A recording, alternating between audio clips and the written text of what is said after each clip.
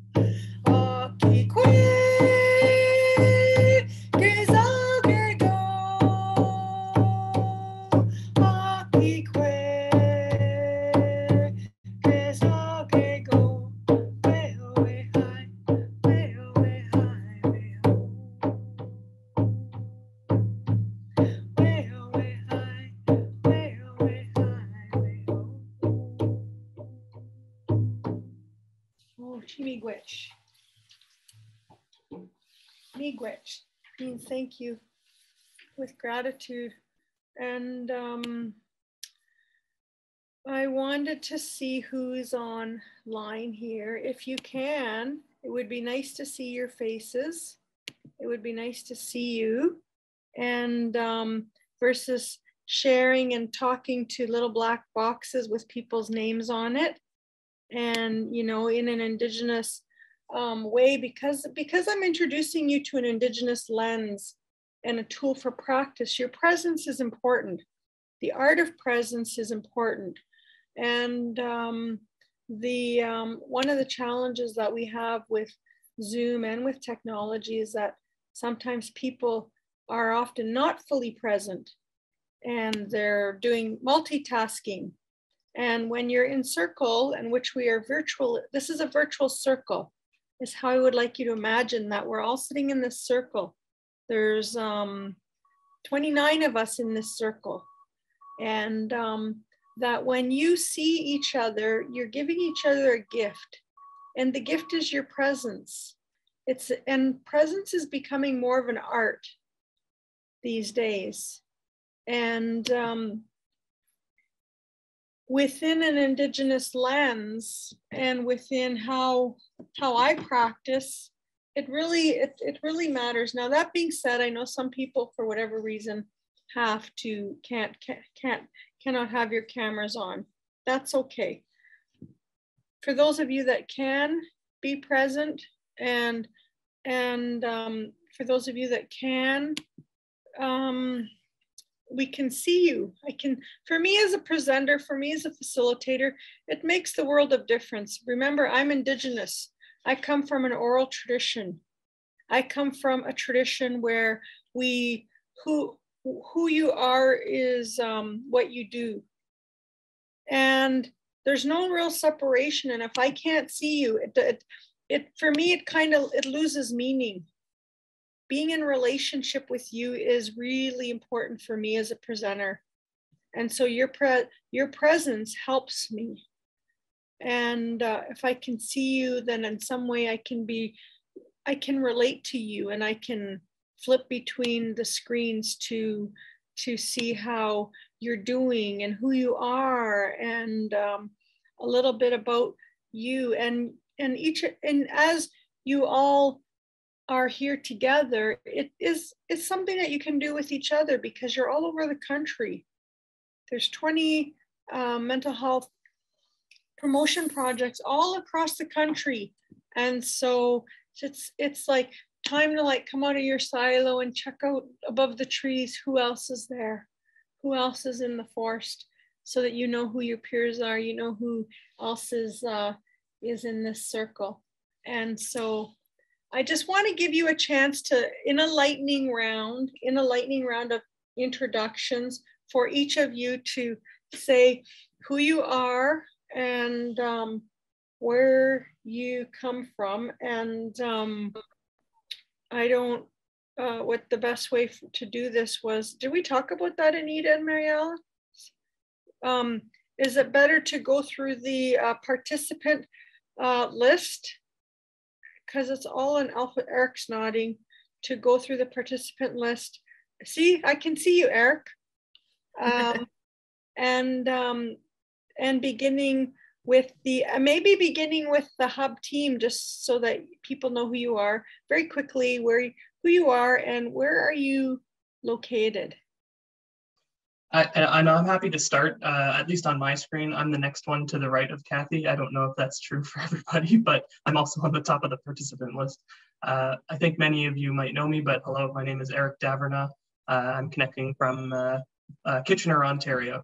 Um, and yes, uh, implementation manager with the KDE Hub. And I'll pass it over to Carol, who's to my right on my screen at least. Yes, hi, my name is Carol Murray, and I'm actually quite new to the Hub, just started in September. I'm coming from you from New Hamburg.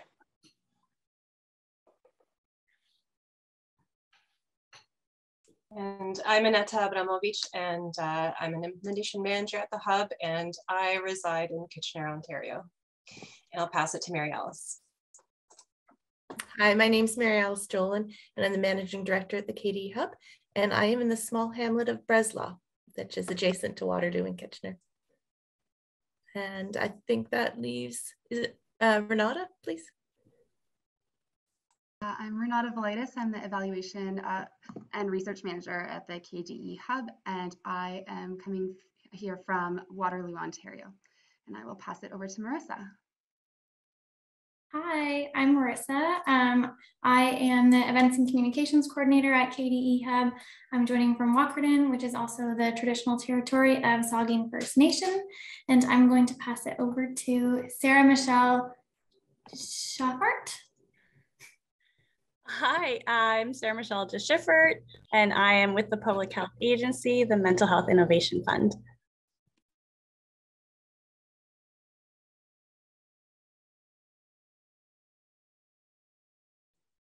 Uh, why don't we go over to uh, Magali?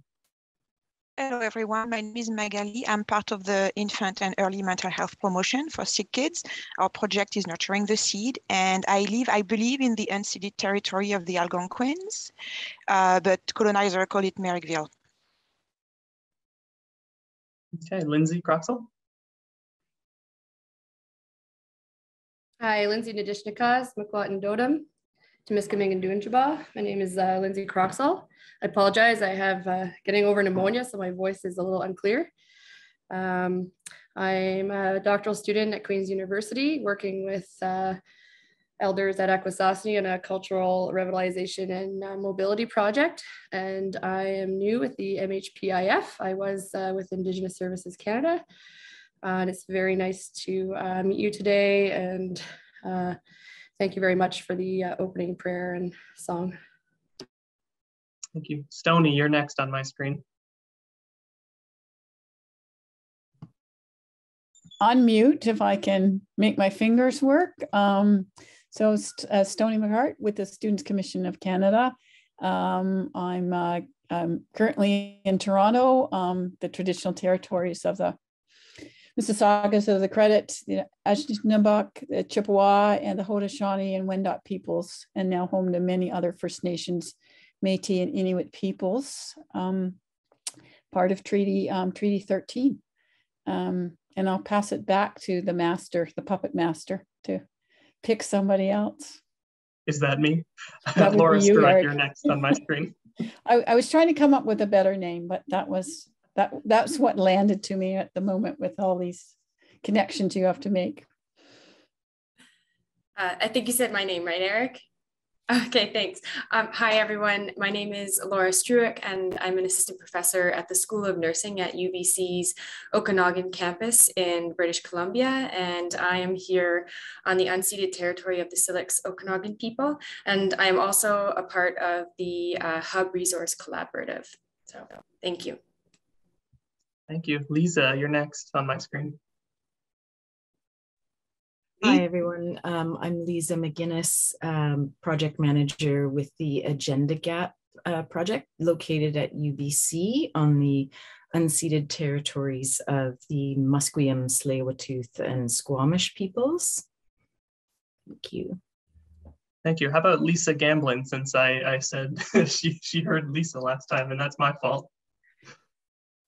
Hello, I'm Lisa Gamblin from the uh, Cedar Path project with the Pas Family Resource Center, and we are on Treaty 5 territory, specifically Opaskwayak Cree Nation land today. Great, thank you. Brian, you're up next. Um, I'm Brian Gross, and I am uh, uh, work with the Nation of Wellness project um, on uh, currently I'm on uh, Coquitlam um, traditional unceded land, and our project works at, in uh, Sumas, um, Matsqui, and Stalo uh, territory in uh, Abbotsford, British Columbia. Thank you. Andrea. Miigwech, it's Andrea Simpson here. I'm joining you from uh, Prince Edward Island, which is the unceded and ancestral territory of the Mi'kmaq people. And I work with the Mental Health Promotion Innovation Fund. Nice to be here. Thank you. Alexandra, you're next for me. Hi, I'm Alexandra Fortier. I work with School Mental Health Ontario, um, and I'm sharing the same land as Stoney. All right, Emma Shepard. Good morning, my name is Emma. I'm part of the research team working on the La Santé Mentale en Saint-Par program for Francophone newcomer youth in BC and Alberta. I'm joining you today from the traditional unceded territory of the Musqueam, Squamish, and Tsleil-Waututh First Nations. Uh, looking forward to this morning. Thank you. Okay, Leslie. Hi, I'm Leslie Payne I'm with the MHPIF, and I'm um, joining today from North Vancouver, which is a traditional unceded territory of the um, Squamish, Musqueam, and Tsleil-Waututh people. Thank you. Uh, Jenny Gillis. Hi, everyone. I'm Jenny. I'm from Nova Scotia, and um, I'm from the Positive Solutions for Families program. I'm really excited to be here. Um, we're going to be doing some adaptations for some of our Indigenous communities here, um, so I'm really looking forward to, to learning today. Awesome. Thank you. Leandra. Hi, I'm Leandra Miller, and I'm with the Families in Transition Project of Central Toronto Youth Services, um, coming from Toronto uh, Treaty 13 area, Dish with One Spoon Nations, and I'm so excited to be here with you. So it's such a, such a pleasure, really. Thank you. Uh, Gina. Hi, everyone. Uh, my name is Gina from the Strong Project um, at Western University um, in London, Ontario. So looking forward a lot to learning today. Thanks. Uh, Danica? Hi, everyone. I'm uh, an assistant professor at Sherbrooke University in Quebec, and I'm working on the Hors-Piste program, which is an anxiety prevention program delivered in high school. Awesome. Thank you. Just a few left. Uh, Karis? Hi, everyone. I'm Karis. Um, I'm a doctoral student at Queen's University, situated on traditional Anishinaabe and Haudenosaunee territory. Um, and I'm with the Nurturing the Seed program as well as Magali. Thank you. Et ensuite, Sylvie? Hi, everybody. I'm Sylvie Gravel. I'm, I'm from Ottawa in the east of Ontario, uh, a little town that called Embrun. Uh, we are on the territory territory of the Algonquin. I'm Métis myself. Uh, I'm pleased to be here. I'm with the early years, and we have one of our group that we're working with the Aboriginal and in the north of Ontario. Thank you. Uh, Fauzia. Hello, everyone. I'm Fazia. I'm the National Coordinator for the Do You Mind Mental Health Program at Community Based Research Center, and I'm located on Amistui West Waikaken, uh, Treaty 6 territory, also known as Edmonton. And I'm really grateful to be here with everybody to attend this session. Thank you. Thanks. Uh, next on my screen is Claire Betker. Hi, everybody. My name is Claire Betker, and I'm in Treaty 1 territory, which is the traditional territory of the Anishinaabe, the Cree, the Oji Cree, the Dakota, and the Dene people, and the homeland of the Métis, also known as Winnipeg. Um, and I just want to say, Kathy, thank you so much for that opening and that song, and to center us in a, in a really good place. Thank you. Thanks, Claire. Uh, Brianna Potty. Folks. I'm Brianna Potty, Senior Development Manager at the Strongest Families Institute. I'm located in Halifax, Nova Scotia, the unceded territory of the Mi'kmaq people. I am a project lead of our Parents Empowering Kids, the Early Years program, and unfortunately won't be able to stay on camera uh, for the whole presentation because I have terrible internet connection right now. looking forward to today's discussions. Thank you. And uh, Radab, if you could introduce yourself as well, that'd be great. Yes, of course. Hi, how are you, everyone? Uh, this is Radab. I'm from um, the University of Toronto, Mississauga. I work on the Sprint project with the uh, refugees, and I'm very happy to attend this session today. All right, thanks so much, everyone. I believe that was everybody. If uh, if I did miss you, feel free to jump in. Otherwise, I'll uh, pass it back over to Kathy. Thanks again. Which Eric? Anybody not announced themselves? Okay, so everybody has taken their place in the circle. That's wonderful. And that's really important for us to be able to take our place in the circle. And that's what we call a lightning round. And um, so you have a, um, you have, I'm going to share my screen here with you, if that's okay. Um, and I made a bit of a presentation because we have such a, we have such a, um,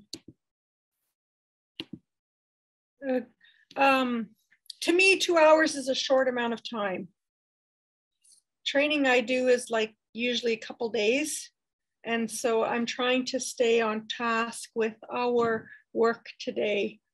And so I just wanted to reiterate I don't know how many people may or may not be aware of this, but I think that in terms of beginning the work that we're doing today with the uh, Indigenous inclusion lens, that um, that uh, to acknowledge the projects that are happening across the country and to acknowledge all the territories that you're all living in and coming from and the, and the diversity of which you all are living and working in. And I'm not somebody that's going to read all of this, so don't worry. It's just there to acknowledge that the uh, the projects, the, the the diversity of the projects that you're all in, and in just you know, in the event that some of you may or may not be aware of the um, the the way the the focus of all of the projects.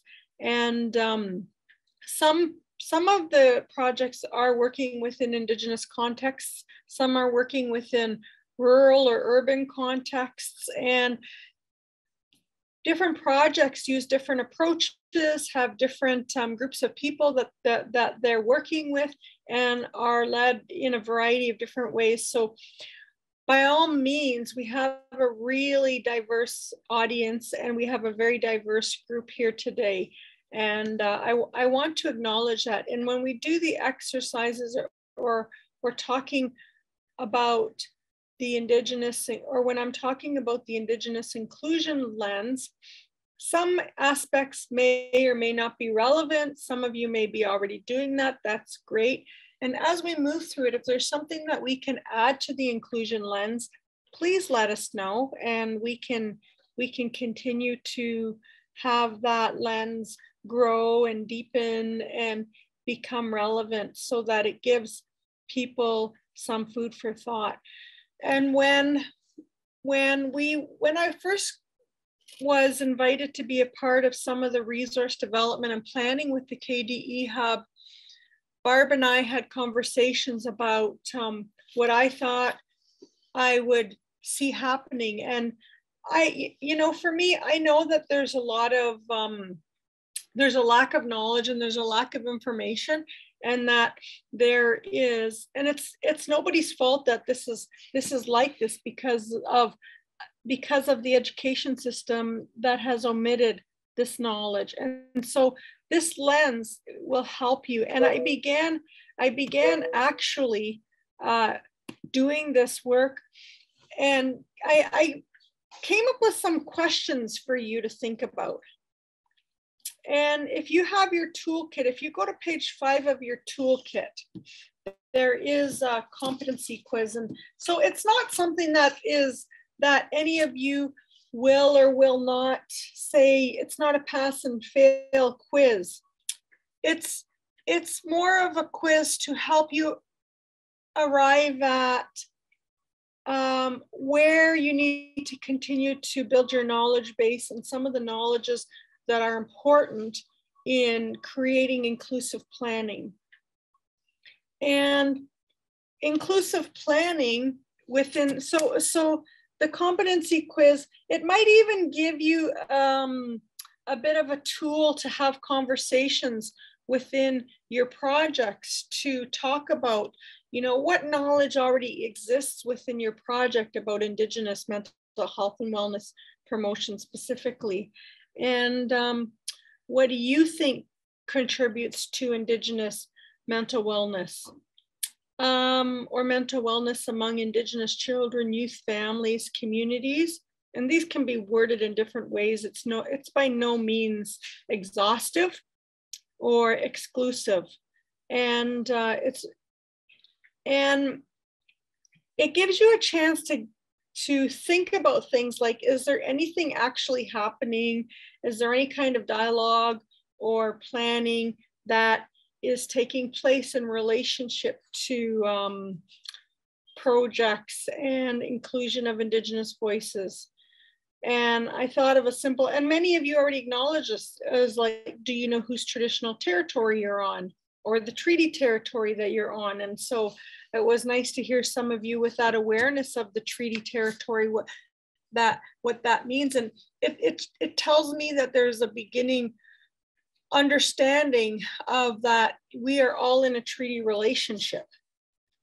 And um, then it moves into the language and then it moves into the nations and the diversity of the nations. And so this uh, this this um, competency quiz is um, something that you can begin to have conversations about and i'm just going to i'm just going to um, stop sharing for a second here. And now that you all have the quiz up on your on your radar, I just wanted to invite people, if anybody has taken a look at that, and if anybody has themselves identified where um, where you feel you need to where, where you feel your your awareness and your understanding is strong and where you feel like you want to continue to grow and learn particularly through the webinar, particularly through your ongoing development as your project continues to identify um, how do you begin to include Indigenous people's voices. And is there something that anybody knows about the treaty territory that's unique, that, that makes the, the project area that you're in um, that will drive the, the things that you have to think about or drive the considerations in your own planning. Do you have existing relationships with Indigenous communities, with First Nations, with Indigenous organizations in, in some of the cities that were named, uh, Vancouver, Halifax, you know, in a lot of main cities across the country, Montreal, there are Indigenous organizations, Toronto, they have, they, they have uh, a lot of um, large indigenous organizations that are responding to all kinds of issues across the country children and youth um, women violence against women missing and murdered indigenous women they're responding to issues around land back. They're responding to um, working with men working with families.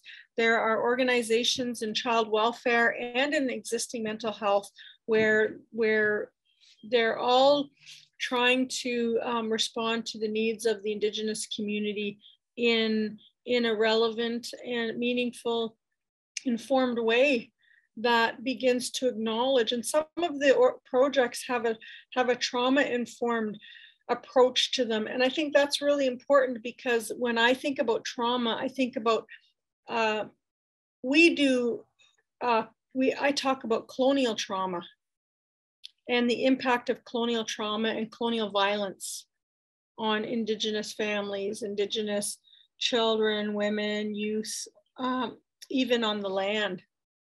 And so having an understanding of of that in the in this you know we are right in the era of the uh, the aftermath and ongoing of, you know, in Canada, there are seven 7,500 tiny bodies that have been unearthed.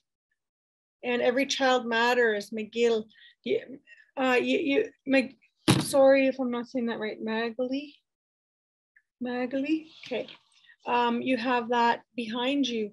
And, you know, I want to acknowledge that in this country, 7,500 Indigenous children have been buried uh, and have been put in unmarked sites.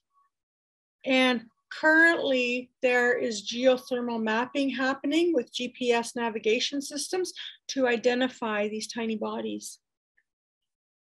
And so we have arrived at, you know, about 7,500 children And we live in a country where nobody's saying or doing anything about that.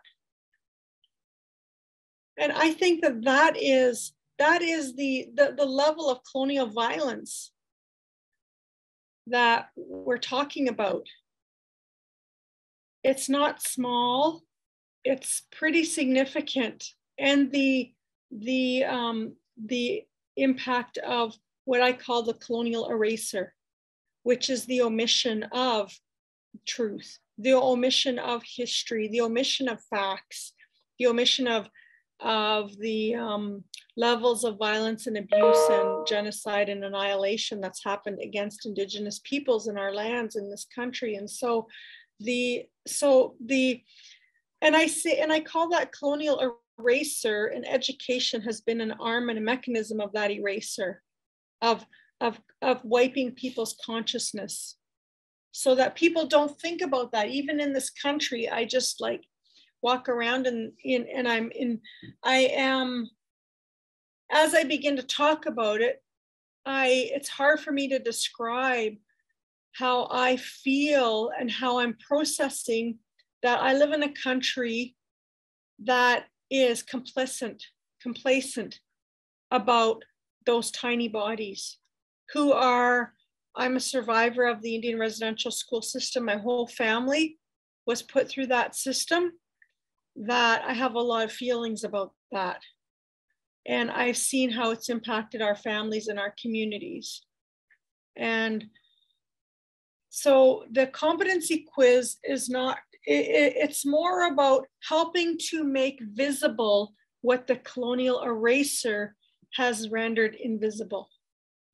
It's not about um, who has more intelligence or who it's not about shame, blame, or guilt.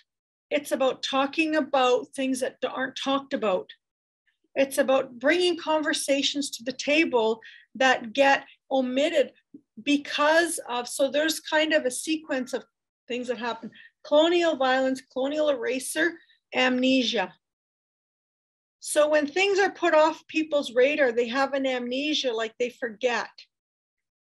And that's the impact of when we think, oh my gosh, we forgot to invite indig- you know, whoever to our table in our planning committee. That's why this tool is really important.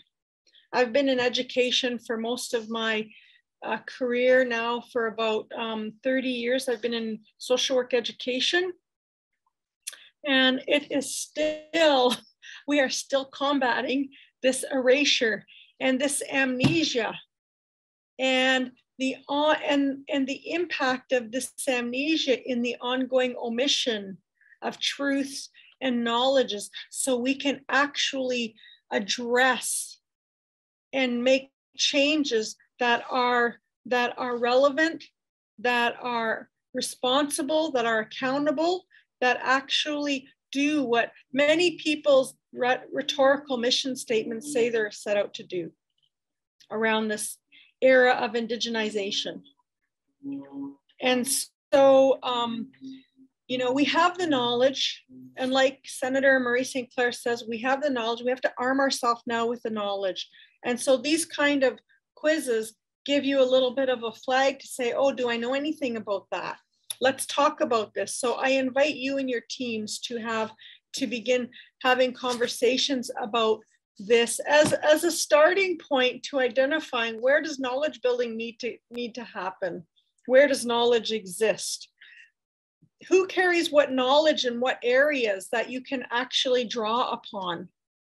So that when you're planning, you might say, hey, I want to invite um, Mary Alice, because Mary Alice knows a lot about the treaties in this area. Or so and so has a relationship with the Friendship Center. Maybe we can invite them, and maybe that's a segue or a doorway to beginning to to to build relationships of inclusivity. So when colonial violence causes an erasure because of um, trying to eradicate indigenous knowledge and the Indian residential school was about that eradication of, of knowledge of who indigenous children were so that you know colonialism is about the land it's always been about the land about exploitation and extraction of the land and resources for economic gain and greed and power, capitalism, all of those things. And so when you have that, so if you can erase from people's minds who they are and their connection and from the consciousness of society, then there's this um, there's this doorway that happens where where governments or whoever don't have to be accountable to the um, the harm that's been caused. This will lead to that amnesia, and when the, the amnesia means then we're not talking about how to include. And colonialism has been about exclusion. It's been about excluding Indigenous peoples from land, excluding Indigenous children, excluding, um, it's been about separating and excluding. That's what the mechanisms of colonialism continue to do, both within society today, and, and today it's not with just Indigenous people, it's with all people that somehow we are being disconnected and severed from our relationship to where life comes from, from the land. And so when we think about inclusion, an inclusion lens, it's like now, how do we come back to how to return, how do we restore our consciousness to uh, talk? And you know, by the way, I'll, I will also say that for Indigenous peoples, wellness is about relationship to the land. For Indigenous peoples, we have always known that the land gives us life that the earth is our mother, that the moon is our grandmother, that the sun is our grandfather, that is our original family. We have always known that the water sustains us and the water is sacred. The air sustains us, the trees sustain us, and all the plants and animals in creation are medicine and food that sustain us. And we were here last in our creation story. The humans came last everything in creation was here first. And so, with that knowing and that line of uh, thinking that um, mental wellness and mental health promotion for Indigenous peoples has to be about restoring relationship and restoring relationship to the land. Because we know that wellness is in direct connection with the land with the earth, with the medicines. And everything that I started with, the drum and the medicines and the song, this all comes from creation. It all comes from the earth. And so, uh, did anybody have a chance to look at the competency quiz? And is there anything that you want to share with share about that?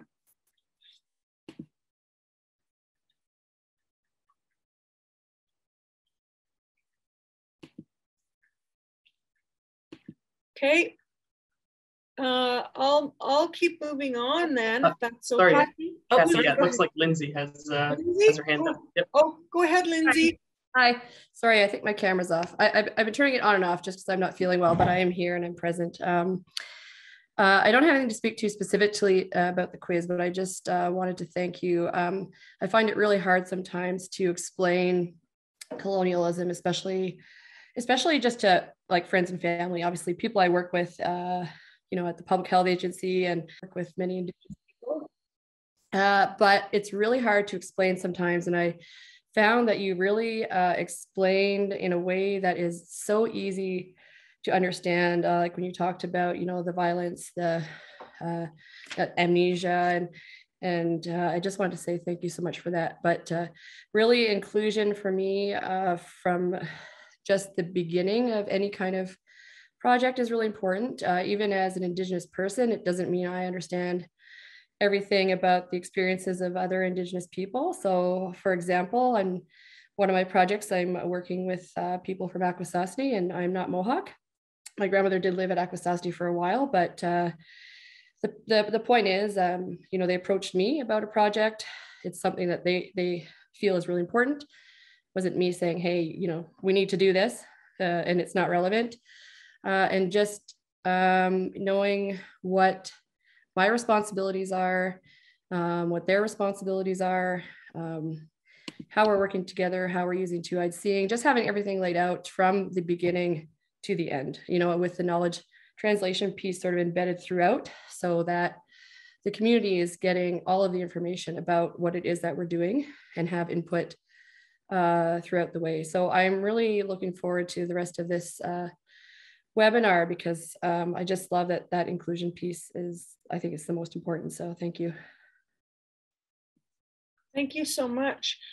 You know, I was asked to write an article, oh, I don't know, a few years ago. It's called um, holistic um, knowledge set. It's about, um, uh, I, I even forget what it was called, what I named my own article. I think I called it uh, uh, Indigenous Inclusion, a whole net, a holistic knowledge set. It was for the Journal of Social Inclusion, anyways, and um, as an international journal. But I actually based the Indigenous lens on that article that I had written about four years ago, four or five years ago, and and in my experience, and you know, I worked in Native mental health for seven years in my home communities. I was a Native mental health program coordinator up in Parry Sound, up and down the Highway 69 corridor between Dokis First Nation and Wahta First Nation. And I worked with seven First Nation communities in my home area. And so I, I have a, a, knowledge base of what the nature of your work is about. And the, um, and I, and because of that erasure and because of the amnesia, I was always dealing with um, mainstream organizations as a Native mental health program that that forgot to include us in community-based planning. They forgot. And it wasn't it wasn't necessarily malicious. These were nice people. It was that they forgot. It was off their radar. They didn't have a consciousness of it. And that is what um, the colonial erasure, that's the impact of it. It's like it's swept clear your mind. So you're not thinking about things. It's like what's happened with the uh, consciousness of the, those tiny bodies and the accountability of governments and churches for that in in this society. And so the so uh, you know inclusion is a really important thing to think about. It's an important thing that we have to consciously um, reach for. I teach and i've been in part of faculties in social work indigenous programs in within the universities. And you know my whole my whole working career has been about bringing into people's consciousness uh, colonialism and indigenous peoples um, experiences in this in this society. And it is uh, i think that it's an ongoing reflection of like when my colleagues say and we'll say you know we might be thinking about something simple like graduation planning or doing something and the indigenous program isn't included. And i'll come to a meeting going hello you know our program is the leading indigenous graduate social work program in the country and even my own faculty forgets to include us in planning. And so this is like and then when I say, you know, don't forget about us or what about this? I'm constantly putting that lens mm-hmm. on people's radar.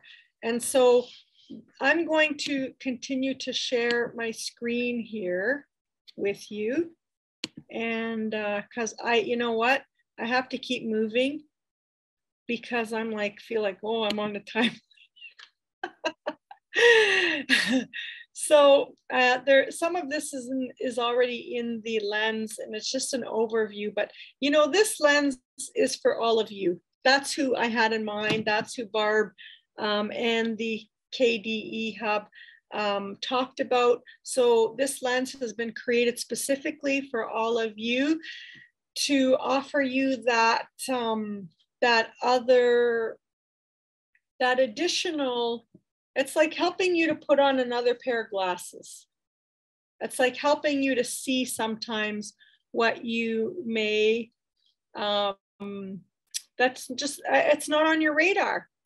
And it's not on your radar because education has constructed that to be like that and has omitted uh, has has omitted so much in history and context and experiences that that even when people are reading a roadmap, you still don't see Indigenous nations on roadmaps or on um, Google Maps people are using today. I'm the, the generation where we had the big roadmap out on in the car, blowing out the wind.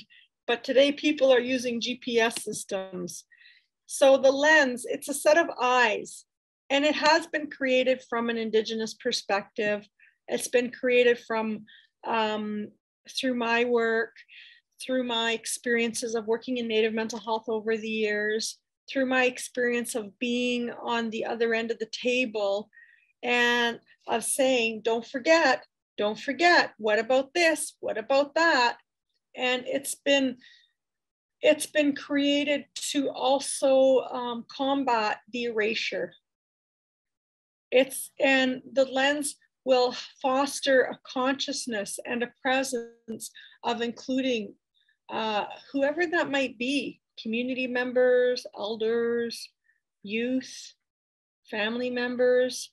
And I'm hoping that within your teams and within each of your projects that the lens fosters conversations that it fosters dialogue and relationships amongst your team to talk about things that often aren't talked about. And we're like, well, what about this or what about that?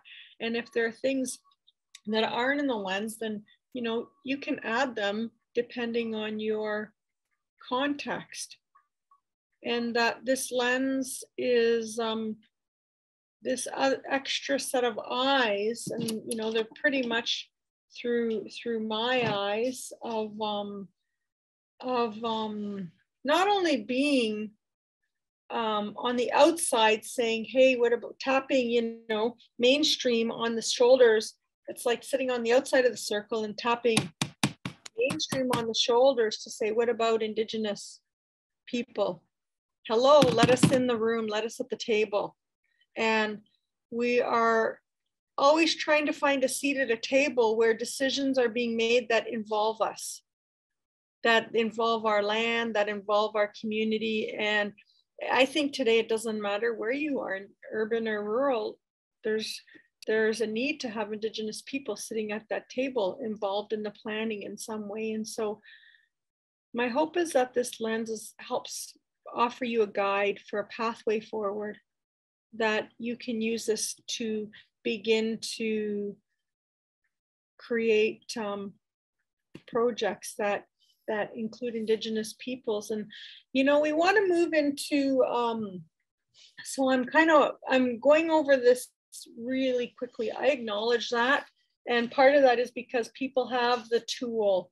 And i want to go over briefly do an overview of this tool in terms of this is a holistic guide. This is a holistic lens. And there, it, I broke it down into four quadrants and you can see that in, um, in beginning with the spirit quadrant of the East that this is where, you know, as a project, and this is on page seven of your tool. So when each of you go into breakout rooms, you can, the, the, there'll be four breakout groups. Each group will be spirit, heart, mind, and body, physical. Eric's going to help you go into your breakout groups so that you have more time to sit together and actually think about and I'm and I've given you I'm going to give you a scenario in a minute about your activity. But this is a this is a holistic overview and this diagram is also in your tool that I've created for you. The the spirit involves your vision. What's your vision? um, it gives you questions that relate to culture. It gives you questions that relate to the inclusion of elders and cultural identity. The heart section asks you questions that foster relationship building and ask you to think about the impacts of trauma and how do you begin um, creating pathways to, to engage in either foster healthy relationships within your, your populations that you're working with or with, with Indigenous communities and Indigenous peoples and organizations. Um, the, the mental element gets you to think about, asks you questions in relationship to what knowledge exists and what knowledge do you. So as a team, you start to build knowledge based on your existing experience, your existing knowledge, and your um, the um, and and the collectivity that you're working with. In this element, it gets you to think about, you know, what does decolonizing knowledge look like? What's needed? And it gets you to think about, you know, the role Indigenous knowledge plays. And that might relate directly across to the elders or involving the people in the community that have that knowledge. The physical element of your tool speaks to, you know, awareness and questions that speak to issues of physicality, like the location of your meetings or the location of your planning. Um, have you ever thought about going and seeing if you could have a space at a friendship center? Have you ever thought about invite ha, the the land or the place in which you're you're meeting, the space? What's the space like, and where what you're going to do further? And so um, I'm um, Linda. Was that uh, Lindsay? Lindsay, sorry. Sorry, I know you're in a hurry. So I just wanted to mention this because it came up in my mind. But um, I was actually in a community uh, in my master's work, working on a mobility project, uh, mo mobility and cultural revitalization. And uh, somebody outside of the community had been hosting, um, uh, it was a, a project on uh, improving the the land in the community to make it more uh, mobile for people using like wheelchairs, electric devices. Anyway, so they invited the people in the community, including those with disabilities, because they wanted to have uh, everyone present, but they the the spot they chose was not accessible. Mm-hmm. So nobody could get in, like anybody with a wheelchair or uh, you know. So those minor things of going to see the, you know the space the land where you're holding these things who who is it accessible to including things like you know lighting um, noise you know because there's people who have other disabilities as well um, but anyway just a really important thing to go and check out and ensure that uh, the spaces are, are Thank you very much. That that's so important. Actually, we've been talking about that a lot. Actually, about accessibility and that spaces are are um, workable for the audience and the people that you want to invite, especially if you want to have elders. You have to make sure that people can, if they have a walker or a wheelchair, that they can be accessible. So I appreciate that. So we're going to prepare into um, working the tool. So I want to get you active and talking with each other. This is going to be 30 minutes. And um, there's a project infographics on YouTube. I'm not going to show it. It's only three, it's only two and a half minutes long, but you can go on there and it's actually on your website. I wanted to I wanted to highlight that to you because if you want to learn about some of the other projects that are there and what other projects are doing, this is good. So you're going to break up into four groups and with so uh, group one will take spirit group two will take heart group three will take mind and group four will take physical and here's your scenario is that you're you're part of this working group to build inclusion of indigenous children and youth into your project inclusion of um, indigenous truth mental Indigenous children and youth mental health, wellness, and promotion. You have a lot of will and desire to do better. And I know that everybody here comes with that because you're we're doing this work. And we say that people that are working for the wellness of the people, you know what we call people like you? We say you're the creator's helpers. So we know when, when we're working with people who are the creator's helpers, that there is will and a desire to do better and build um, and to make change. And so with this will and desire to do better and build Indigenous perspectives into the planning and development of your project, you will, um, and like many planners in Canada, your team has limited knowledge with limited existing relations with Indigenous peoples and community and may have little experience. So rather than the standard deny and avoid, let's think about how we can step forward into inclusion. And so your site could be an urban site or a rural site. You can choose. However, most of the sites seem to be urban from when I've looked over the, um, the projects. In the breakout rooms and as a team, move through the questions related to your project and ask someone to record what you come up with. And members of the KDE Tub Hub are going to join you. I said the KDE Tub, the KDE Hub are going to each there's going to be one person that's going to be in your breakout room with you so when you come back i'm hoping that we'll have time to ask somebody from each group to share what your group's emerging ideas are so that collectively by the time everybody shares everybody's had a chance to get a holistic idea of how this how this tool works holistically and because of the amount of time we have each person can work in one area. Um, so does, um, I'll stop sharing now. Is that okay, Mary Alice? If I stop sharing, everybody has this, right? Yeah, that's fine. Thank you. That's good. So, um, Eric is going to put you all into breakout rooms and he's already done this. So this is an amazing like organized team. And I will see you back here in at two.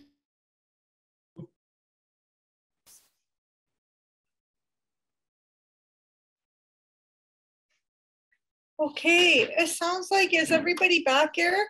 Great. Welcome back, everybody. I hope that uh, you had a good conversation in each of your groups.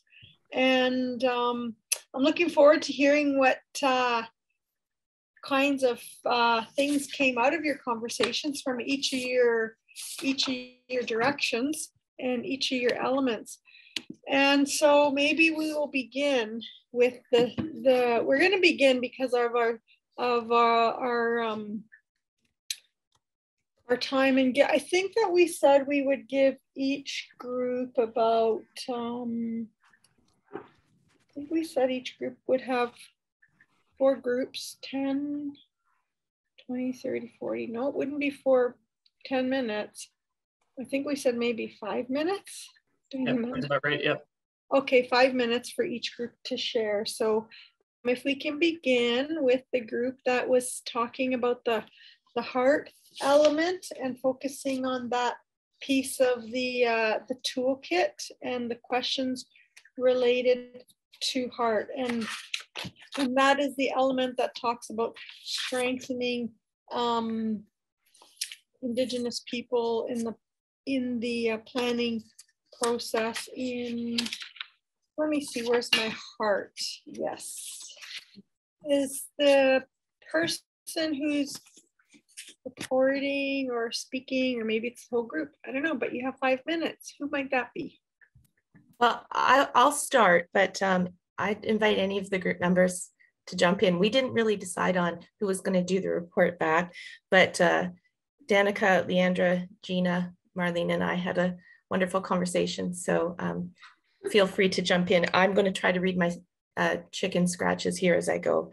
Um, but we did talk about sort of the that how important relationship is. And we kind of started um, our conversation talking about it, it, seems like the best place to start is, is by starting to build relationships.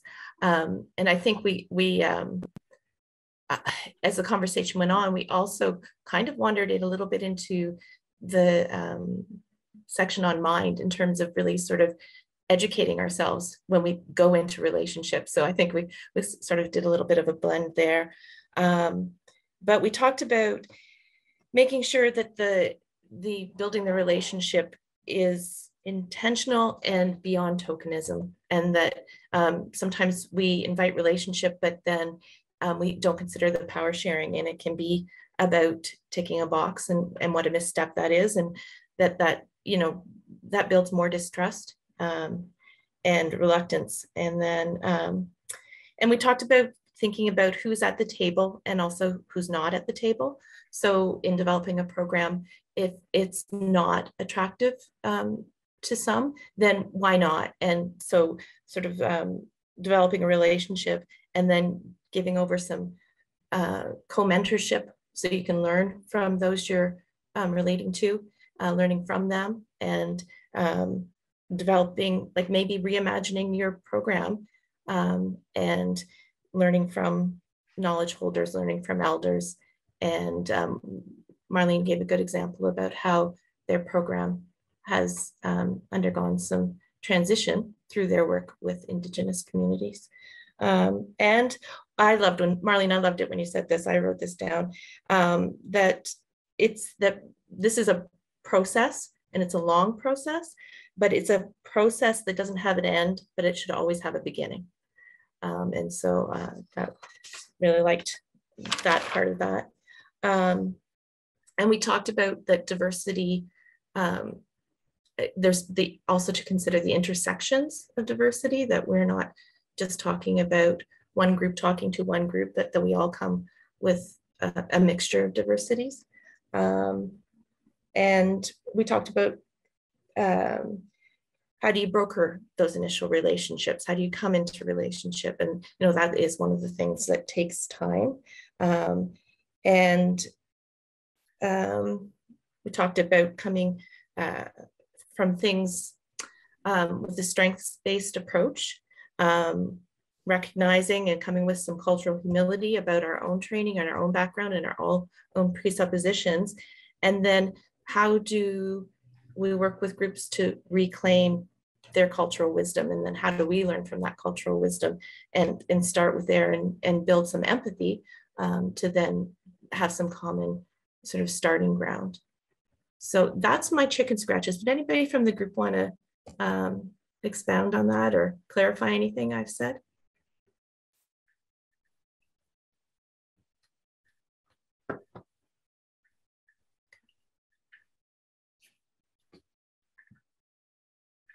Okay, Miigwech.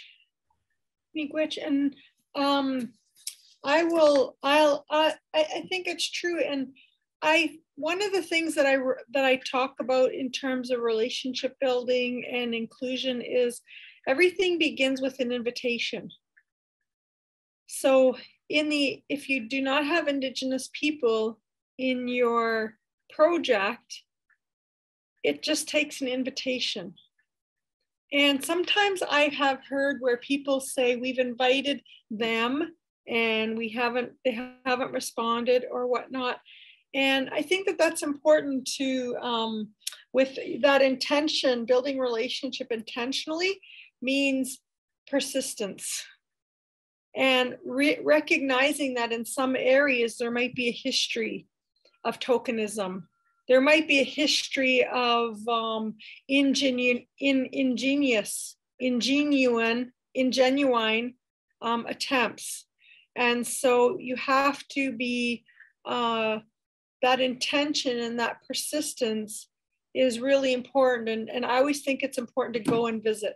Like you know put on your shoes and your coat march down the street or go down and be a kind of find a way to become a part of and get involved in the context uh, that indigenous people are in. Go to the friendship center. Go to the mental health native mental health services if there's any.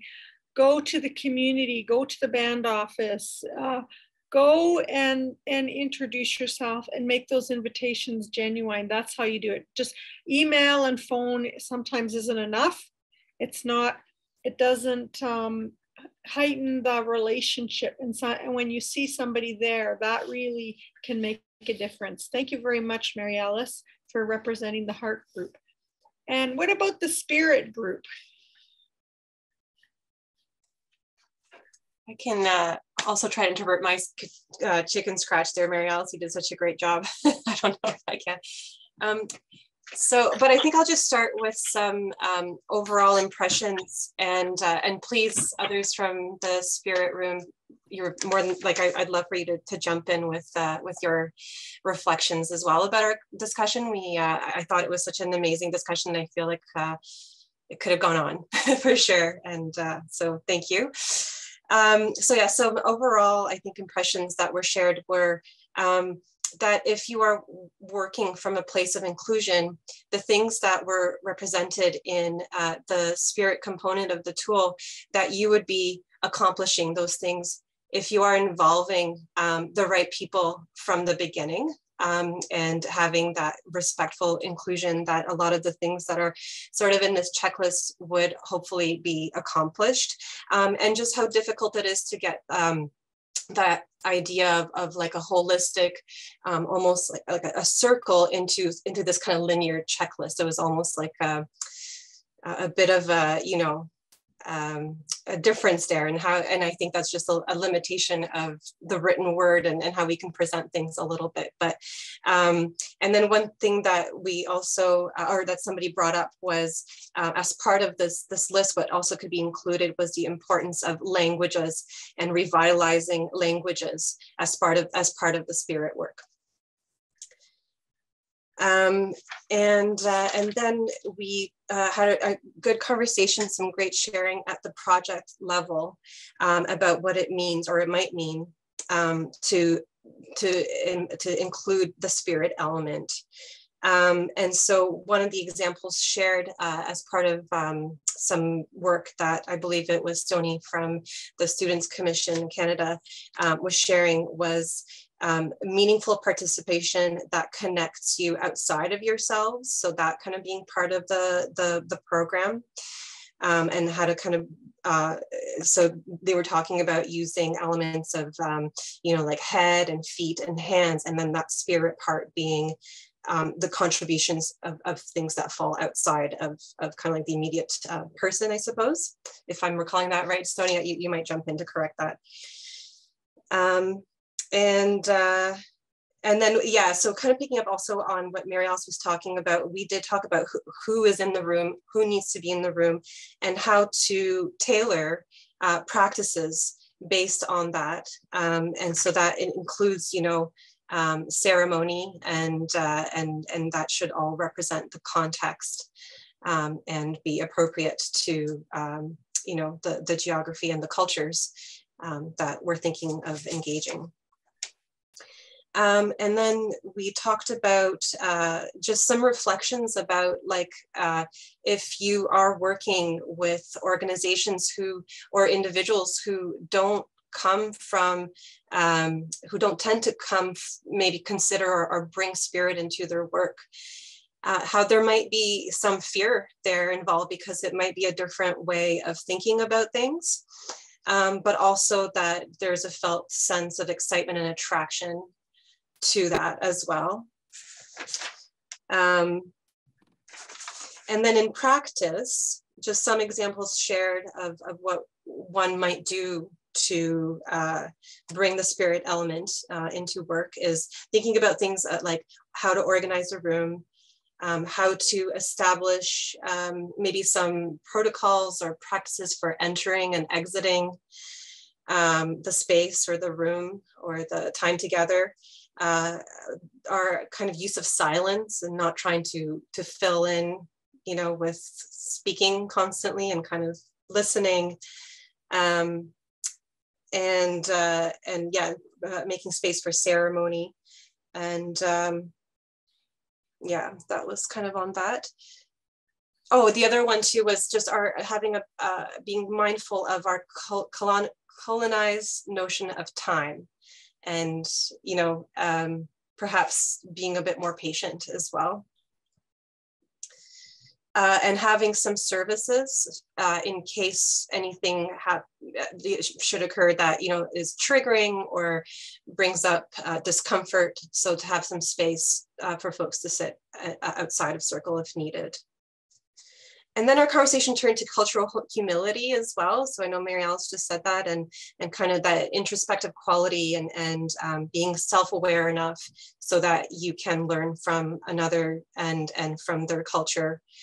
Um, and, uh, and then how important that is to not only do that on an individual level, uh, at a project level, at an organizational level, but also at a system level to have the cultural humility and uh, and me and then one suggestion of, of how we might bring that to the system level was simply just to do it like to do it as an individual maybe and to do it as an organization and to set the example um, of and, and some of those things we, we, we talked about maybe like um, starting with ceremony and just kind of normalizing that that's the way we do things.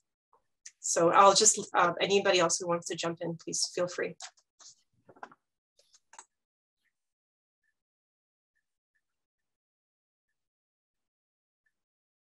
Miigwech, for bringing your group's perspective forward. A couple of things that I would um, add to what you already said was that um, when you're um, when you're wanting to involve Indigenous peoples to um, to um, build awareness around protocols and things like that, I think that it's you know I I would um, invite people on the team to learn aspects of the language of the territory you're in. So if you're in, um, you know, Winnipeg, where there's Anishinaabe, Cree, uh, Métis, you know, there's there, there there's different ways you say Tanse, Bojo, Anin, um, and how you say the basics, how you how you say a greeting, how you say welcome, how you say Thank you. So I uh, invite you to learn to do some concrete things like that, like learn language, learn aspects of the language. And um, that shows um, a willingness to engage from a place of, um, of indigenous, where indigenous people are at. And, and, and for me, that's always like impressed me where I'm like, wow, they've, they, they're, they're, they're using our language and um, to me, I find that is um, a sign of like stepping into that treaty relationship. Like we can acknowledge, have territorial acknowledgements, and we can say we're, you know, we're in we're in this treaty territory, but what does that mean in terms of the language? And so, it's it's it's showing that you know all Canadians have a treaty relationship with Indigenous people. So learning to say some things in the language I think is good. And then specifically when you inviting community people to be involved, to lift up ceremony, to lift up um, indigenous knowledge, uh, practices, uh, invitation for community representatives, remember to put those into your budget. That's not something that people will do for free. And it is not our knowledge much like a consultant, much like you would bring a contractor in, an elder has the similar credentials as somebody like me who's a doctor. They have lifelong knowledge, lifelong wisdom, and and you know, don't treat Indigenous people as if our our our expertise, our experiences are up for free. So be prepared to factor that into your your budgets and you know into your how how you how you um, include those voices. And so um, the uh, and you know I think that the beginning conversations are important because then you can get into the, the, the, the specifics and the details depending on your context. And so um, I'm going to move us along to the element of the mental element and invite the person to share that with us. Um, I'm happy to jump in and also, as everyone else has said, open to the rest of my group to kind of fill in any blanks. Um, we first uh, started uh, by almost sharing um, our own experiences, even um, in terms of like having being part of Indigenous training and cultural safety training, and and and realizing how much we think we might know, but how much we don't know. Um, and the importance of including those kinds of training, um, the importance of including or having resources available for your entire team to really understand, to get that knowledge. Um, and and yeah, I think we just talked about how it's shocking to find out how much you don't actually know when you think that you might um, have a sense. Um, and also in terms of like just being able to go out to the community, um, we talked a little bit about the importance of going into the community and learning from the communities that are around you. Um, like one example was involving an elder within um, your team was what one person has shared. Um, and often that there's some, not necessarily like a fear, but it's, are you allowed to go out to, you know, an indigenous community to, or into a specific place to ask those types of questions and not to be afraid to do that. Um, another example was even just learning, um, I think one person brought up about uh, the two, uh, workshop about two spirit. And so even just that learning um, and to be able to apply that. So again, just trying to increase as much knowledge as you can. Um, also having a list of services, um, maybe even an assembly of resources that is available to your team um, so, so everybody can learn alongside of each other. We talked um, a little bit about building an understanding that colonialism isn't necessarily historical, but it's it's continuously evolving, and to make sure that that consciousness is available in your team. Um, we talked, um, yeah, about the diversity within having projects be able to have that diversity in terms of working with Indigenous populations. Um, and we also um, like you had mentioned before, uh, we also had that realization of it's not necessarily waiting for an Indigenous community or an Indigenous group to reach out to you, but the importance of you not waiting, but going out and inviting them to the table and how that's a very, very important step. Um, and again, touching on that sort of the potential nervousness that people might have about reaching out and how, how do you do that appropriately? And sometimes that that is a challenge that people feel that they may need to overcome, but also about that's how we would learn more and that's the best way forward. Um, we also, again, reading through my chicken scratch, um, we also talked um, about the importance in terms of knowledge development about the importance of um, involving indigenous groups um, in the directions of all the in, in, the directions of research, including the development, the implementation, um, and and that how that knowledge is then shared and to make sure that that is coming straight from the indigenous populations that you're working with. Um, and yeah the, just the importance of that element of co-design. So not necessarily putting something yeah i guess listening to their voices and and and following their lead um, following their expertise for what's appropriate as well. Um, and we we left off um, just um, on, on a reflection about uh, the the wealth of Indigenous youth and how that is um, one particular group that I think that we should all be learning a lot um, from and, and going towards, again, for that element of co-design, co-mentoring, um, but just sort of the wealth of knowledge in terms of that youth-led mentoring um, and the importance of that in terms of building new knowledge. And I can open it up to anybody else if I've missed anything.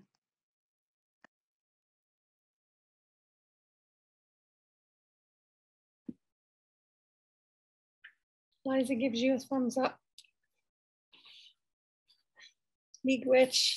Um, I think that that's uh, that's a pretty good beginning conversation of um, addressing the knowledges and knowledge building. And um, I find that in times when I've taught Indigenous um, knowledge courses and decolonizing uh, courses, it's it's so true, Renata, that the more you learn, the less you realize you know. And because Indigenous, um, you know, people have degrees on Indigenous studies, undergraduate degrees and masters, and people are doing PhDs. There's so much to know. And the more, the little bit you learn, the more you realize. I mean, with knowledge comes um, awareness of how much more there is to learn. And with knowledge comes its uh, uh, responsibility to to change the eraser, to change ignorance, to address and combat that amnesia. And um, the more that you talk and and and even engage in ongoing training, um, because there's so much that we're learning too around even um, you know um, within Two Spirit LGBTQ communities, um, around what was said earlier about ability and accessibility and um, youth perspectives and um, inclusion of those of different voices depending on again where you're from. And so knowledge building is always important. I don't know about any of you but i've never stopped learning. And when you're when you're a helper within communities you're always always learning. And so there's always this this searching this research aspect to learning of um so that you can um you know and it's important to, to give yourself permission to make mistakes. I think that sometimes gets in the way of um moving forward. I think sometimes a fear of doing something wrong especially within in the era of um, truth and reconciliation and the politics uh, that are happening across the country that you might, you know, that can get in the way of taking a step forward, of thinking that you're going to say or do something wrong. Trust me, we're not that fragile. Um, we've been through the the the the, the mill and back, and um, there is, and I think that cultural humility because when I've come into partnerships or in with organizations, um, if I can have a conversation about the whiteness, about the dominance of colonialism, about Eurocentrism, and have the people in there sit with me and talk about that, then I know that I can be in partnership with them. But if white fragility and other things come into place, then you know what? I can't be in partnership with people like that. I'm not there to educate people. I'm not there to um, to um, carry their knowledge. I'm not there to teach them about the history. I'm there to be a partner. So really, you have to do your work to to learn about the history. You have to familiarize yourself with with all of the the huge amount of knowledge and commissions and inquiries that are already out there and they're all available online then we can come to a table and then i can those are the kind of people that i'm in partnership with the people that are doing their work and are waking up and and because I have working partnerships with non-indigenous groups, but they're and they're doing their work. So and I'm not there to educate them. So they come to the table with some really good questions that I can actually engage in and have have good conversations. So I want to move on to the group that did the physical. Oh, Lynn, Lindsay. Yeah, so I just wanted to say thank you for saying that. Um, I, I know that um, these conversations can be hard and and I really worry about trauma, uh, like triggering people's trauma, and not because I've necessarily done it, but just because I've seen it happen to others and to myself. Sometimes through just a really good question that people just don't realize. Like you can't plan for it; it's it happens. So I think if we have, you know, things in place for when that happens, um, which is easier done in person because you can kind of recognize sometimes when something has triggered somebody and you can you know smudge or you know uh, you know help them help each other through it. But um, i just wanted to mention as much as i say that i still do worry about uh, you know my own trauma and others people uh, people's trauma but something we have to face for sure. And and thank you so much for that lindsay because knowledge building isn't about um, trauma porn. Having people tell you their their experiences and you know survivor stories that that's not knowledge building.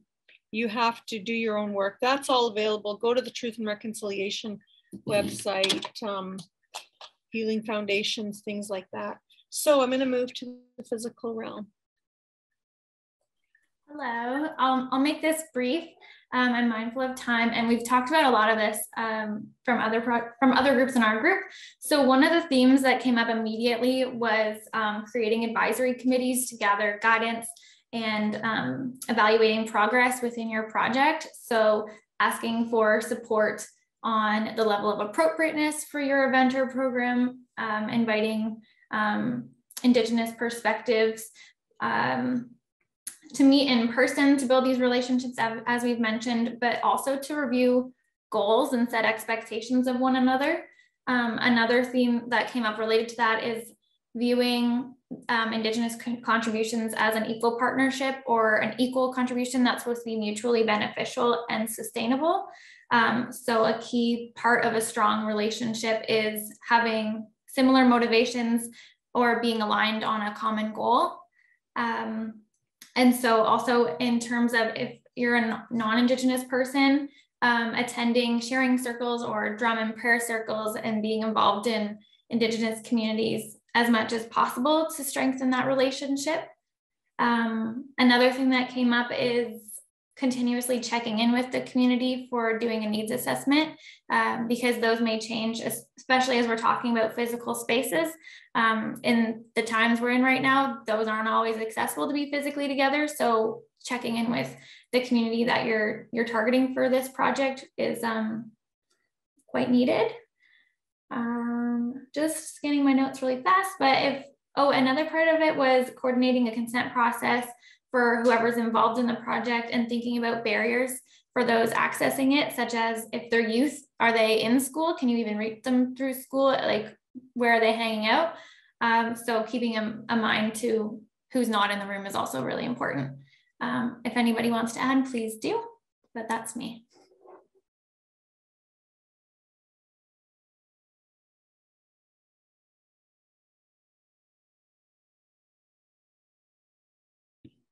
Miigwech for that.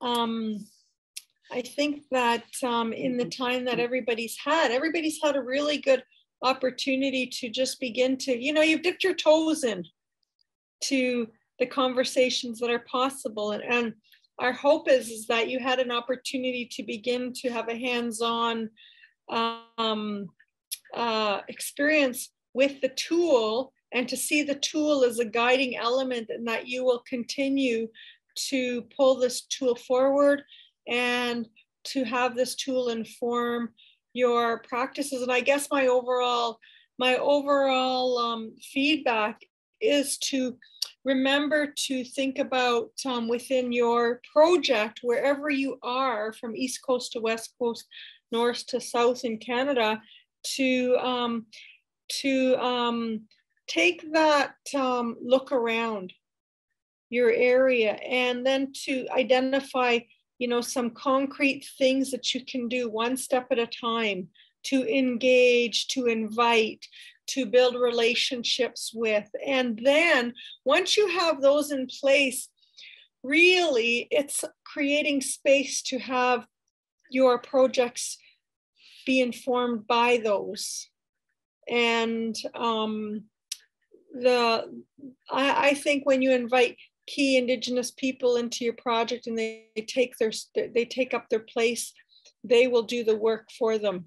And then you they'll do their work and all they need to have is the space to do their work and for you to support that process. And um, so I see people nodding and perhaps that's been your experience too, is that when you invite people who are who are relevant to, I'm not talking about inviting token token Indian indigenous people who will, will be the occupy a seat and and nod with what you're saying, inviting people who understand the work, who understand the community, who have a voice and who uh, who can um, help your help take their place along the work with you. And because uh, i've seen you know people invite indigenous people to take their place and they basically become the tick box. And they have no space to um, genuinely inform the project but that people say oh we have an indigenous person on there. And um, so I, I, think that um, there's a difference. And so I thank you for inviting each, uh, thank you for engaging in the process today. It's been a short two hours and um, I thank you for your participation and um, I'm grateful for your input into the tool. So it's interesting to hear as you as you move along, ongoing feedback to the KDE Hub as as the tool gets informed, it would be important. And so uh, let me see what else we're supposed to be doing. Closing remarks to the workshop. Okay. me Miigwech, everybody. I just hope you all have a really good afternoon and wherever you are, whatever part of the country whose ever land you're on. You know, be good to yourself. And because really, you know, being being a helper and doing the creator's work begins with honoring your own spirit honoring your heart honoring your knowledge and honoring your vessel your body. And that's what you bring to your practice. That's what you bring to your work is a grounded holistic self.